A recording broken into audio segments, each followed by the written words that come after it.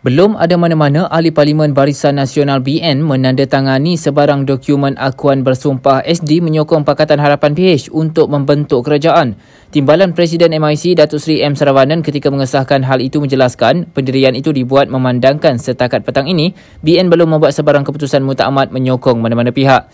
Katanya setiap parti dalam BN, AMNO, MCA, MIC serta PBRS mesti mencapai kata sepakat bersama mengenai sokongan kepada mana-mana gabungan. Beliau juga berkata perjumpaan dengan pemimpin PH pagi tadi adalah sesi perbincangan biasa antara BN dan PH namun belum ada keputusan antara kedua-duanya.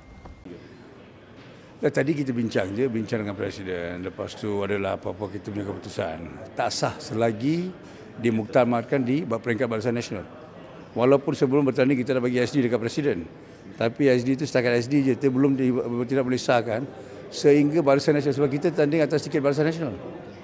So apa-apa pun, apa juga keputusan pun, mana-mana parti MIC ke, MCA ke, UMNO ke, tak ada kuasa. Kena bawa balik ke Barisan Nasional. Kalau Barisan Nasional setuju, baru semuanya.